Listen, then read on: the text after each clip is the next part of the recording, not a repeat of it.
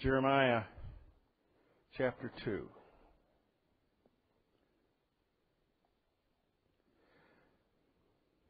Jeremiah chapter 2, verse 1.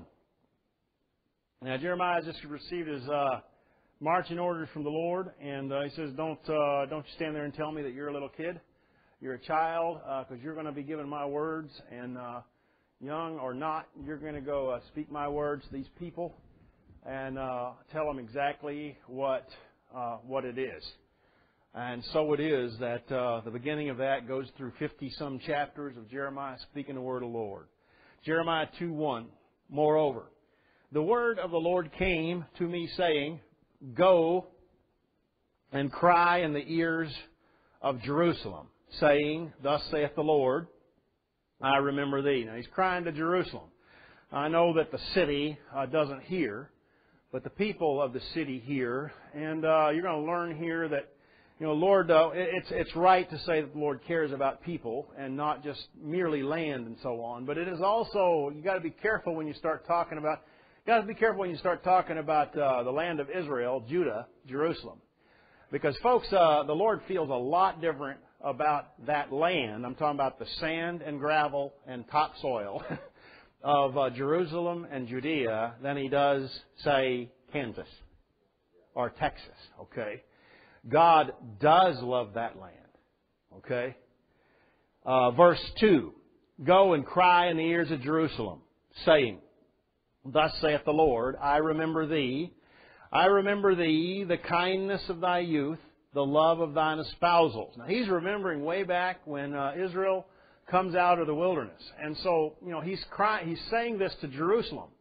And so the other thing you recognize about this is the Lord isn't restrained by time in the sense that, you know, it's just one generation that leads to the next generation. And once the next generation comes along, God forgets all about the old generation and it just passes on to the next generation. And, you know, every, each and every generation is new. It's not always that way. I mean, there's a continuity. The Lord, remember, the Jerusalem that He loves today is the same Jerusalem that he remembers that was founded, you know, and inhabited by the people that he led out of Egypt all those years ago and so on and so forth. And the way that applies to you is that here you are in the church in uh, 2008, and God still remembers those first espousals and so on of the that first group of people that joined, quote unquote, the church way back at Pentecost and so on back in the earliest days when it really meant something to be a Christian. You understand? I mean, there's a there's a continuity involved. To him, it's the same woman. Granted, different people and granted time frames and so on, but it's still a it's still the same woman. Verse two. Uh, Thus saith the Lord, I remember thee, the kindness of thy youth, the love of thine espousals, when thou wentest after me in the wilderness, in a land that was not sown. Now, what's kind of interesting about that is you go read Exodus and Leviticus and Numbers and Deuteronomy, and um, you know it's just it's just one problem after another. You know, I mean, you know they Moses throws his stick down, it becomes a snake, and they believed. But you know, as soon as Pharaoh turned around and made their lives harder, then they were mad. And from there on, it was nothing but a yo-yo, up and down, up and down. We like you, we love you. We, we don't like you, we hate you. You know, you brought us out here to kill us. Thank you for delivering us. Go, you know, praise the Lord, praise the Lord, praise the Lord. Oh, you brought us out here to kill us. You know, it's just up and down, up and down, up and down. It's just just mercurial mess, right? And uh, you know what? What I would think, you know, somebody would remember coming out of Exodus, Leviticus, Numbers, and Deuteronomy is what a bunch of stiff-necked brats. But Oddly enough, the Lord looks back on those days and remembers those as the good days. Which probably says something about just how rotten and just how bad it got when they went into the land of, uh, of, of, Palestine and uh, went after the gods of the heathen and so on. Just how uh, offensive that was to God. It's one thing to have grown up essentially Egyptian and uh, to have problems getting over it and coming out of the wilderness and it's just hard to walk off into a wilderness where where there's nothing and expect God to deliver. It takes a lot of faith. But it's another thing when you're a generation of people that have watched God feed you for all those years and your very sandals have not worn off of your feet, and the clothes on your back have not worn out, and you got to cross the Jordan River on dry land just like they crossed the Red Sea way back then, and God's gone in and conquered these peoples for you and all that kind of thing, and you still go after their gods. So, uh, interesting thing to me is that the Lord still is looking back at Exodus and Leviticus as the good old days. Well, verse uh, 2. Um, I remember thee the kindness of thy youth, the love of thine espousals, when thou wentest after me in the wilderness, in a land that was not sown. And again, uh, emphasizing the land that was not sown, they walked off into a wilderness. They walked off, folks, two and a half million people walked off into the, essentially the desert. How are you going to feed two and a half million people in the desert? There's not enough game, and it's a, it's not a land sown. There's no, you know, you can't just live on corn or wheat because there is no corn or wheat. And it gives you an idea of just how much faith it took to walk off like that. I mean, folks, we have a hard time walking off from, you know, from securities and so on in our lives. Imagine what it is for two and a half million people to march off into the backside of nowhere. It's an ama- It's actually, when you think about it, like it's kind of an amazing thing. Verse uh, three. So let's get this straight. It's not that Israel lacked more faith than you have, right? We always think of, yeah, they're stiff necked. That's what God says, stiff necked. Like you're not. Like, like you pack up your family and walk off into the desert. You know, you're not prepared to for survival for survival training. Much less are you going out there with two and a half million people. Folks, it'd be hard hard to find a latrine big enough for two and a half million people. How are you going to find water for two and a half million people? How are you going to find food for two and a half million people, right? All right, verse 3. Israel was holiness unto the Lord. She was, she was holiness unto the Lord, is what he said. Look at the last book of the Old Testament, Malachi, Malachi chapter 2. She was holiness unto the Lord. Uh, he uh, thought back on those days, and to him, they were the good old days, even though there were failures. Look at Malachi chapter 2, verse 11. They were holiness unto the Lord.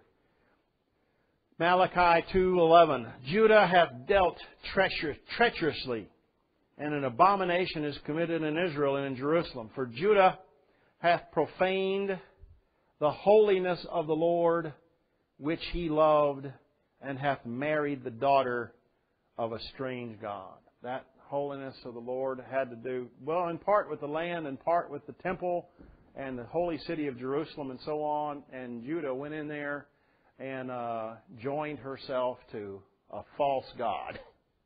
Now, folks, there's a reminder about this for me and you. You got can't you can't forget this. Look in uh, Ephesians chapter four. Ephesians chapter four. And Israel marches off into the wilderness, and they may not look like holiness unto the Lord, but they are.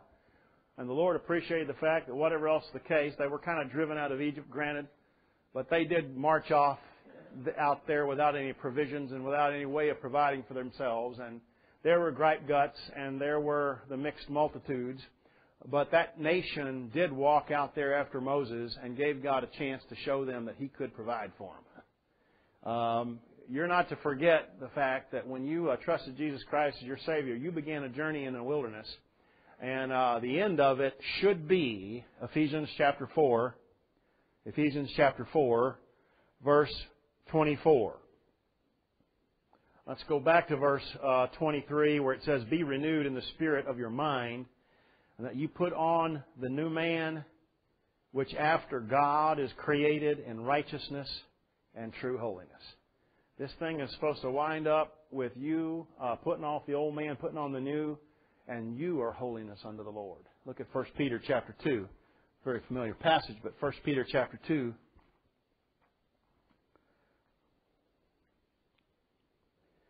1 Peter chapter 2. And don't forget, verse 9. But ye are a chosen generation, a royal priesthood, a holy nation, a peculiar people. none of those things we particularly appreciate. A chosen generation. Well, we like the idea of being chosen, but we don't like the idea of really being chosen for what God chose us for, which is to be odd, and which is to not fit here, and which is to go against the grain and go against the current of everything in this world. But a chosen generation, a royal priesthood. You're a kingdom of priests. You're, you know, He's made us uh, kings and priests. You're, you're a priesthood, but it's a kingdom of priests. Um, and a holy nation. It's holy. Uh, you are a, uh, you're called to be a holy nation. It's a bad thing when a holy nation is not a holy nation. Right? But it goes on to say a peculiar people. You know what you're supposed to be? You're supposed to be weird. You're supposed to be strange as far as this world's concerned. I know it's a hard lesson, and I know that your parents think think that's the case. Some of your family thinks that's so, and uh, that, that it, it, they're right. If you really are different, it, they should think that way, because you are a peculiar people. You think different than they do. It's you're peculiar in this life. You're peculiar in this world. You don't think like them. All right, Jeremiah chapter 2, verse 3. Israel, Israel was holiness unto the Lord and the first fruits of his increase. She was the first fruits of his increase. He called her out of Egypt. She was, she was the first fruits. Um, all that devour him shall offend. Evil shall come upon them, saith the Lord. Now we're accustomed to the uh, saying from uh, Genesis 12:3, uh, "Blessed is he that blesseth thee, and cursed be he that curseth thee." Right? We're familiar with the thing in uh, Numbers where uh, Balaam stands up and does tell the truth and says, you know, blessed is he that blesseth thee and cursed be he that curseth thee. We still say that today. This is just another way of saying that. And sometimes, you know, familiar words begin to uh, kind of wax uh, too familiar. And in this case, notice how it's worded. All that devour him, Israel, shall offend. Evil shall come upon them saith the Lord. Now, folks, that's not what you want your country to get off into. Offending the offending God over Israel. Um, you're going to see in a little while that that land is God's, and God gave it to Abraham. And uh, you know you can spiritualize all kinds of stuff all you want to, but the sand in Jerusalem is God's. And it makes him mad The people are standing on that sand right now, doing what they're doing. Well, it says, um, all that devour him shall offend. Evil shall come upon them, saith the Lord. If you've ever read that um, Eye of the Storm by that guy named, uh, um, ah, what's his name? Brother Steve? Koenig, yeah. Uh, that went through uh, all of the, the history of every time it seems like you know, we've uh, gone to join hands or shake hands or pat the back of a Palestinian, whether it be Arafat or anybody else. Every time, you know, a president goes over there to buddy up, every time we send a Secretary of State over there to buddy up or an ambassador over there to buddy up, we wind up getting slapped upside the head with hurricanes, with tornadoes, with uh, just various things. It's it's an amazing. The book's this thick, folks, and it is an amazing sequence of events when you stop and consider the things that go hand in hand. You can believe it or you can disbelieve it. But according to the Scriptures, all that devour him shall offend, evil shall come upon them, saith the Lord. Verse 4 Hear ye the word of the Lord, O house of Jacob, and all the families of the house of Israel. Thus saith the Lord What iniquity have your fathers found in me? What a thing to ask. Right? What a thing to ask. Here's God saying, Tell me, what sin has your have your fathers found in me that they decided to dump me and pick up some false god? It's an amazing, kind of an amazing question. Look in um, uh, Micah, book of Micah, chapter six. Micah, chapter six.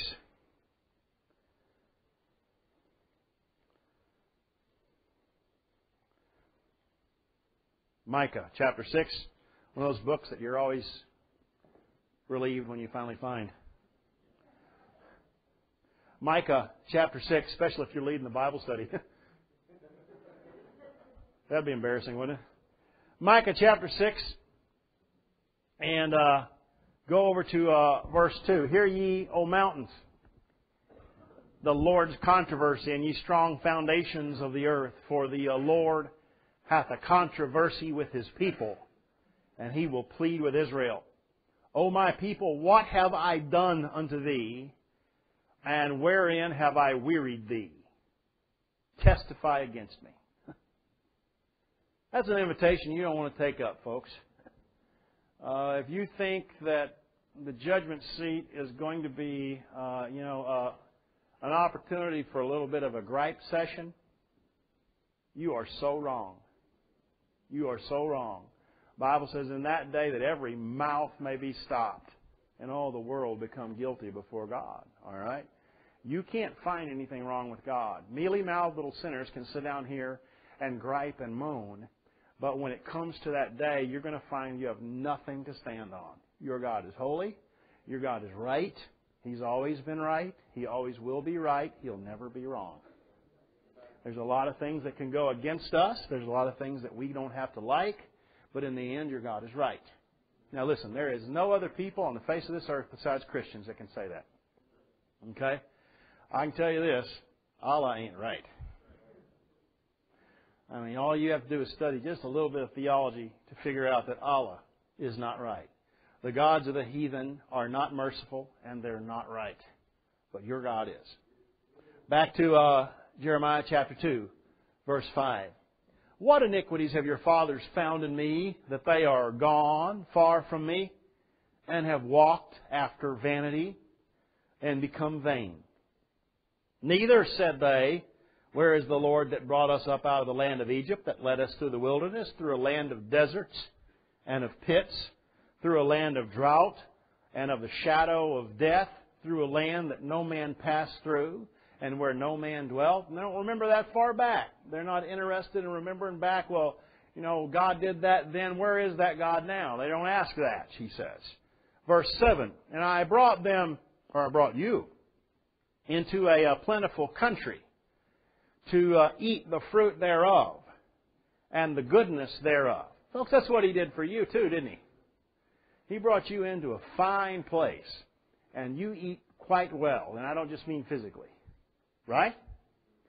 Um, I brought you into a plentiful country to eat the fruit thereof and the goodness thereof. But when ye entered, ye defiled my land and made mine heritage an abomination. Now, folks, uh, notice that that's God's land, and God considers that land His heritage. Now, I know that Israel is also His heritage, but that land is God's heritage, and that land is His land. And those people went in there and trashed up His land with false gods, the same false gods that had defiled that land before that God ran those other people out for.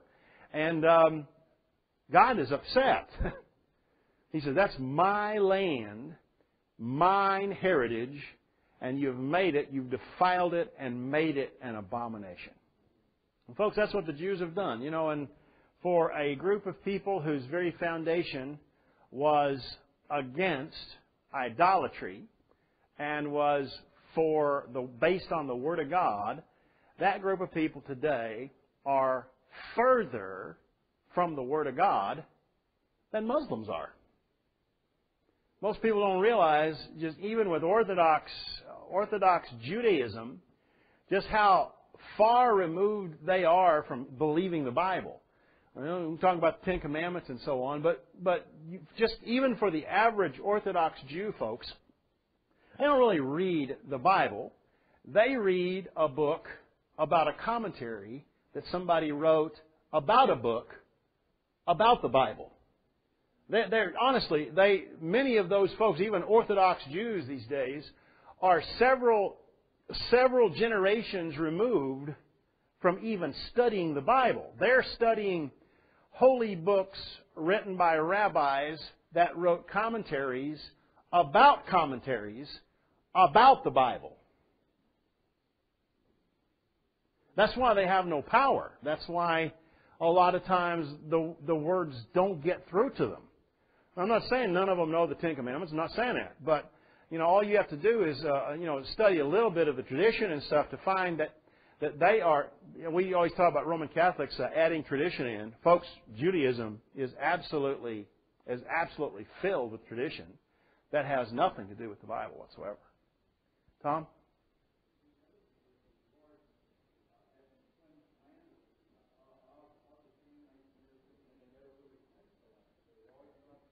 There was always remnants left.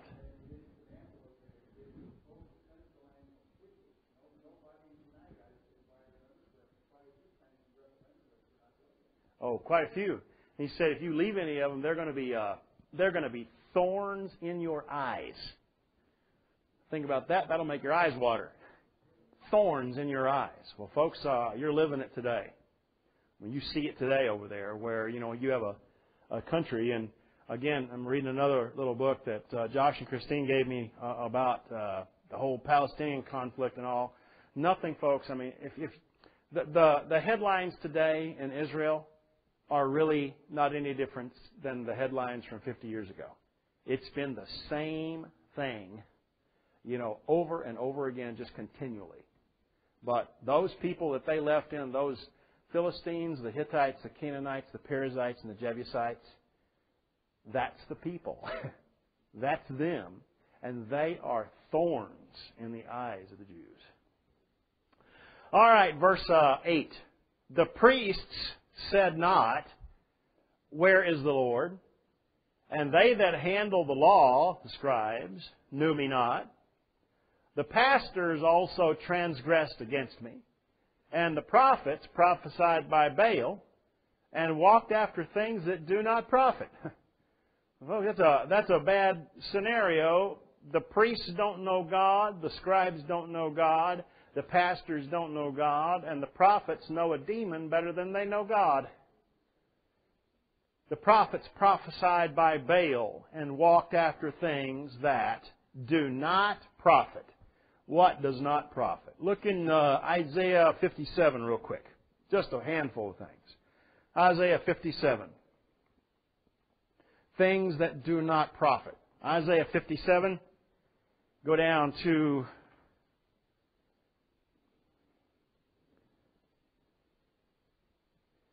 Isaiah chapter 57, verse 12.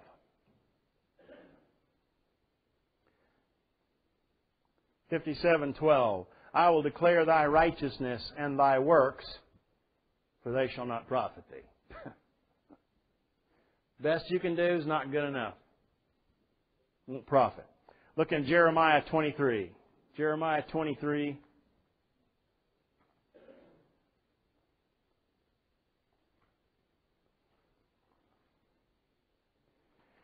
Jeremiah 23, down around verse oh, 30. Therefore, behold, I am against the prophets, saith the Lord, that steal my words every one from his neighbor. Behold, I am against the prophets, saith the Lord, that use their tongues and say, He saith. Behold, I am against them that prophesy false dreams, saith the Lord, and do tell them, and cause my people to err by their lies and by their lightness Yet I sent them not, nor commanded them. Therefore they shall not profit this people at all, saith the Lord. Folks, you have pulpits all across America, um, uh, the UK, and so on today uh, that do not profit the people that hear them at all. At all. Look in uh, Hebrews. Look in Hebrews chapter 4 real quick. Hebrews chapter 4. And we have to be careful about this too. Because Bible believing churches, Bible believing pews are, are filled today by folks that are not profit as they ought. Notice uh, Hebrews chapter 4, verse 1. And I understand there's some dispensational implications here for sure. But verse 1 Let us therefore fearless promise being left us of entering into his rest, any of you should seem to come short of it. For unto us was the gospel preached as well as unto them, but the word preached did not profit them, talking about the folks that did not go into the land when God told them to. And why not? Not being mixed with faith in them that heard it. You have to be careful about hearing the Word of God and uh, not really believing it. Hearing the Word of God and not letting uh, it, it do what it's supposed to do. Faith cometh by hearing, and hearing by the Word of God. Too many people sit in judgment of the Word of God these days. You can hardly listen to the radio without somebody correcting it in one form or another. Look in Hebrews 13. Let me show you one other thing that doesn't profit here, and there are others, but we'll not get too deep here. Hebrews chapter 13. Hebrews chapter 13, verse 9. Hebrews 13, 9. Be not carried about with diverse and strange doctrines.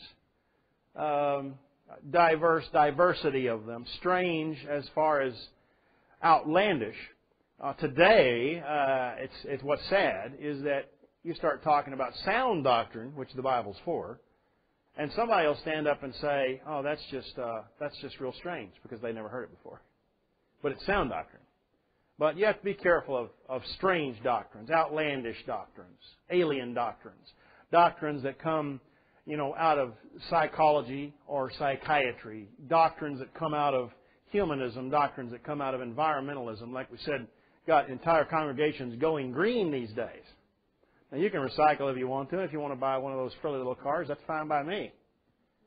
But if you're spending any time worried about the environment, you are wasting your time. Okay? That's a doctrine that comes from the world that makes its wins its way into a Christian doctrine. It's not right. Uh, Hebrews uh, 13:9. Be not carried about with diverse and strange doctrines, for it is a good thing that the heart be established with grace, not with meats which have not profited them that have been occupied therein. Uh, you know, you get caught up in uh, JW doctrine, it doesn't profit them. They wind up thinking that Jesus Christ is not son, the Son of God. Right? Get caught up in Calvinism. And you wind up thinking that you don't have to fulfill the Great Commission. You wind up getting caught up in hyper dispensationalism and you start thinking that you don't need to be baptized, uh, you know, to, to be obedient. That doesn't profit people. All right, back to Jeremiah 2. Jeremiah 2, verse 8. He said, They've uh, transgressed against me. The prophets prophesied by Baal. We nail that a, a lot here a little bit later. And walk, walked after things that do not profit. Wherefore I will yet plead with you, saith the Lord, and with your children's children will I plead. So God's pleading. Now I don't know, what's your picture of God pleading? Somebody on his hands, you know, down on his knees, you know, with his hands folded, please, please, please, crying, please, please. I don't know if the Lord does that or not. Sent his son, who died naked and beaten on Calvary, I don't know if he needs to humiliate himself any more than that. You know? Come unto me, all you that labor and heavy laden, I'll give you a rest. That, that's pleading. It's kind of interesting what's paired with pleading in a couple of places so that you don't think that, let's see how I phrase this. Um, you don't ruin God's day if you don't repent. God's happiness does not depend on you. God's world does not revolve around you. He doesn't have to line you up. You need to line up with Him. Okay? God does delight in His people. God rejoices in certain things when His people do right. But don't think that God is some pitiable beggar of a figure that just sits around and weeps all day until you get right. Because it's not like that. Notice pleading here. Look at Isaiah 3. Isaiah 3, verse 12. Isaiah 3:12. As for my people, children are their oppressors, and women rule over them. Oh boy. O my people, they which lead thee cause thee to err, and destroy the way of thy paths. That was just for context, although that was good stuff. Verse 13. The Lord standeth up to plead, and standeth to judge the people. That pleading is accompanied by judgment. Yeah, God's standing uh, begging, but He's not standing with folded hands, you know, crying and wailing, please, please, please, please. Then He's saying, you know, you better come or else. Because it's about to hit the fan. Uh, he's coming to plead, but he's coming to judge at the same time. Look again in Micah. Micah. Oh man, I have to find that book again. Micah. Micah chapter 6. Micah chapter 6.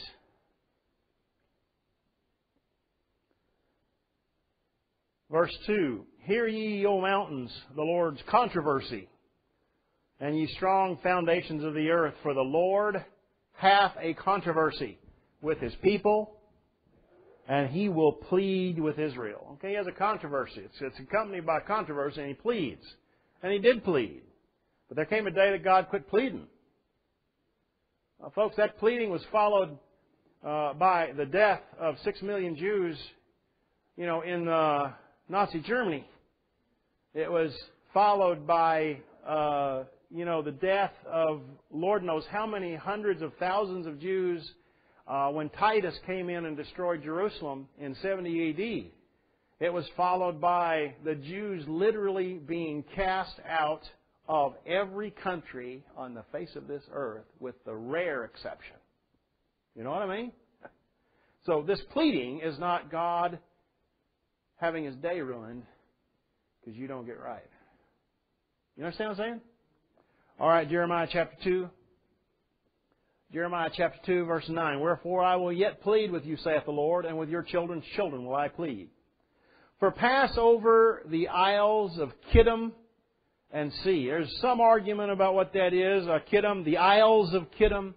Well, Cyprus is pretty nearby. That's an island. There are islands off the Aegean Sea, uh, off of Greece and so on, so maybe some of those isles. For pass over the isles of Kittim and see, and send unto Kedar, now that's uh, Arabia, southern Arabia, and consider diligently and see if there be such a thing. What thing? Hath a nation changed their gods, which are yet no gods? And you know, you stop and think about that, and you know, it is a pretty rare thing for a nation to change its gods. I mean, forever uh, ingrained in everybody's uh, knowledge now is the fact that most Arabians are Muslim. And to convert a Muslim is a major undertaking, and to convert an entire nation is a real undertaking. Because just in general, nations do not change their gods. You go talk to, uh, you know, the, the, the Buddhists and so on of the Oriental religions and so on. Uh, you, you just don't find nations that readily change their gods if they change at all. So what's the deal with Israel? She changed her gods. Right? She changed her God. Back to uh, verse 11. Hath the nation changed their gods, which are yet no gods? I mean, their gods are not even real gods and they won't change. They're absolutely adamant. Um, but my people have changed their glory. It's not just that He's God, it's He's glory. Their, their gods are inglorious gods. They're sick little, little imagine, imagined things. Their gods are cows and cattle and frogs and dogs and India rats and it's their gods. They're pitiful, vile, little profane things. There are no gods. But, but God, the Israel's God, your God, is a glorious God. Hath the nation changed her gods, which are yet no gods? But my people have changed their glory for that which doth not profit. There's that profiting thing again from verse 8. Verse 12. Be astonished O ye heavens, at this, and be horribly afraid. Be ye very desolate, saith the Lord, for my people have committed two evils. One, they have forsaken me, the fountain of living waters. And two, and hewed them out cisterns, broken cisterns, that can hold no water. You talk about a sad scenario. They've forsaken me, the real thing, and hewed them out something in place of it that can't even hold water. That uh, verse, I believe it was Talmage that said that he never trusted himself to preach on that text. That he was afraid that he would get too uh, sarcastic and too profane because it made him so mad. So he refused to preach on that verse. As far as I'm concerned, he should have gone ahead, right? But he just said he said he, he could not trust that he could contain himself to preach on that verse. Well, for my people have committed two evils. They have forsaken me, the fountain of living waters. It's odd that Jesus Christ shows up, the water of life, isn't it? And hewed them out cisterns, broken cisterns, that can hold no water. Verse 14. Um, is Israel a servant? Is he a homeborn slave? Why is he spoiled? And uh, the questions are rhetoric in that, you know, God did what? God delivered Israel. He went into Egypt to set Israel free, right? So why is Israel a servant? Why is he a homeborn slave? Why is he spoiled? Why does he keep getting carried away uh, off into uh, you know Assyria? Why does he keep getting carried away by Nebuchadnezzar, you know, off into Babylon? Why do the Egyptians continue to harangue him? Why does he continue to have problems with the heathen round about his perimeter, always stealing stuff and all that? Why is he always being judged? You know what the book of Judges is? The book of Judges is just a thing up and down, up and down, up and down where Israel continues to come in and get conquered. Then one guy rises up and delivers Israel, and God blesses them. And then after 40 years, they're back under bondage again, just over and over and over and over again. Why is that if God's delivered somebody? Verse 15 The young lions roared upon him and yelled. You say, what's that mean? Jeremiah chapter 50. I like it when the Bible, I like it when the Bible um, interprets itself. Jeremiah chapter 50, verse 17. Jeremiah 50, verse 17. Said back there that uh, the young lions roared upon him. Well, notice in verse 17, Israel is a scattered sheep. That checks. Israel's uh, a flock, a flock of sheep. The lions have driven him away. Which lions? First, the king of Assyria hath devoured him. They took, he took the northern tribes captive, and they never returned. And last, this Nebuchadnezzar, king of Babylon, hath broken his bones. Those two young lions are Assyria and Babylon. Clear? Back to verse 15 of Jeremiah 2. 2.15. The young lions roared upon him and yelled. They made his land waste. His cities are burned without inhabitant. Also the children of Noph, that's Egypt, and Tahpanhes, that's Egypt have broken the crown of thy head. The Egyptians were always out for it. Verse 17, Hast thou not procured this unto thyself? Whose fault is it? It's their fault. Well, God didn't fail Israel. Israel failed God, right? God does not fail you. You fail God. And uh, there's an awful lot that comes our way by way of reaping. And uh, in the end, you have to say, I've procured that for myself. Hast thou not procured this unto thyself, in that thou hast forsaken the Lord thy God when he led thee by the way? And now what hast thou to do in the way of Egypt, to drink the waters of Sihor? Or what hast thou to do in the way of Assyria, to drink the waters of the river? Thine own wickedness shall correct thee, and thy backsliding shall reprove thee. In the end, sometimes the Lord leaves a people to themselves. You know, you you pray sometime, you pray the Lord delivers somebody, and uh, but again, I mean, you don't have a Calvinistic God. Your God is not a fatalist. I mean, God doesn't deliver anybody that doesn't want to be delivered. And so, as long as somebody's hard headed and stiff necked and won't listen, won't reason, then the fact of the matter is that, just like here, thine own wickedness shall correct thee. You know, you're left to your own wickedness. You're left to what you've procured back in verse 17 to yourself. Thy backsliding shall reprove thee.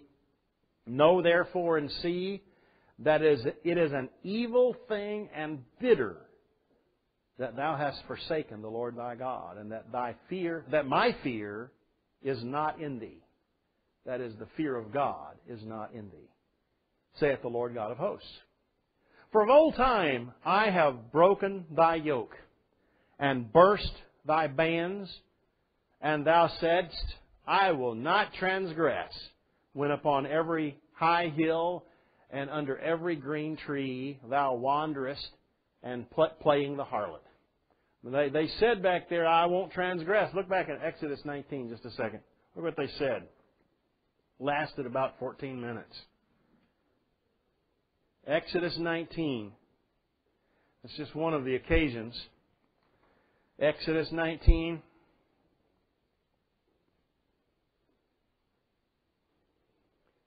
Nineteen seven, and Moses came and called for the elders of the people and laid before their faces all these words which the Lord commanded him. And uh, verse 8 And all the people answered together and said, All that the Lord hath spoken we will do. And Moses returned the words of the people unto the Lord. There was a contract made right there. He says, You accept? They said, Yes, we accept. And buddy, the Lord held them to it after all these years.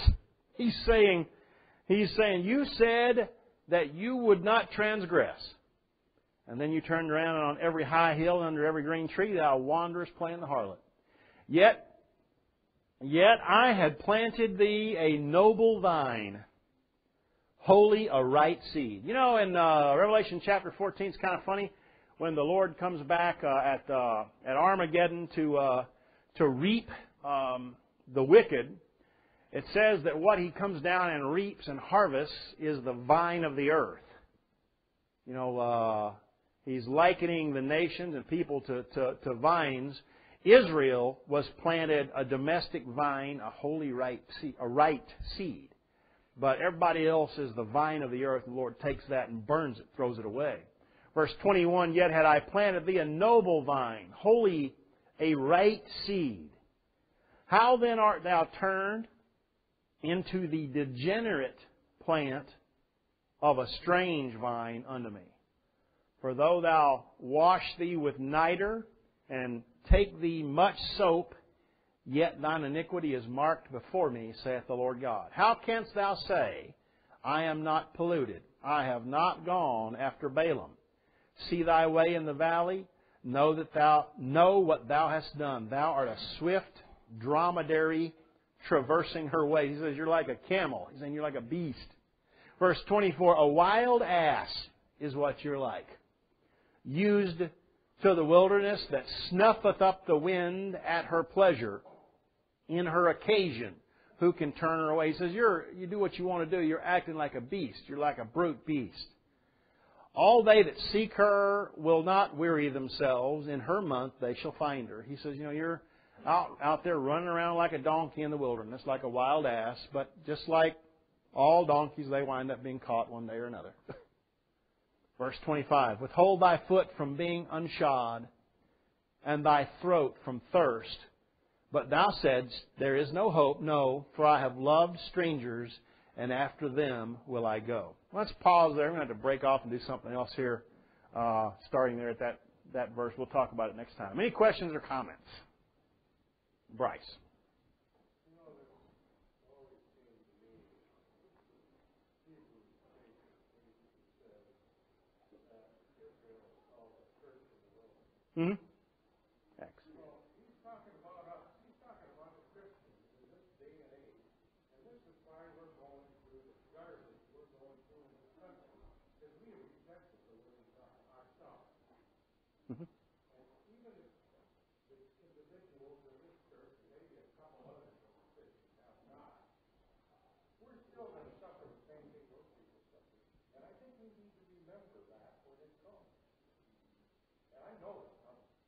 Mm, amen.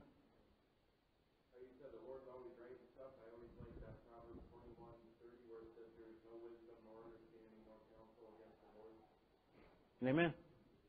Amen. Amen. Anything else?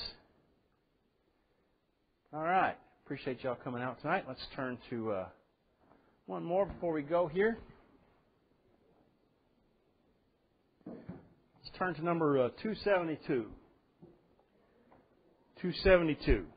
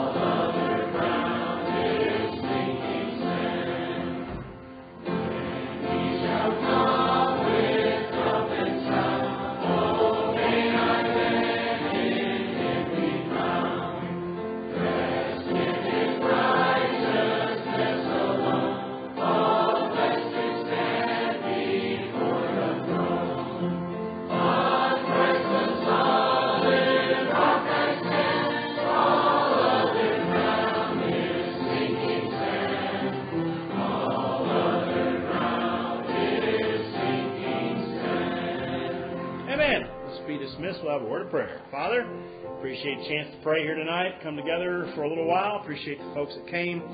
Ask uh, for your oversight for all the things we've already talked to you about here tonight. Uh, remind us of these things that are most important in prayer, Father, uh, that we may keep them before you. I pray they'd make, make a difference. We pray in Jesus' name. Amen. Good night, folks.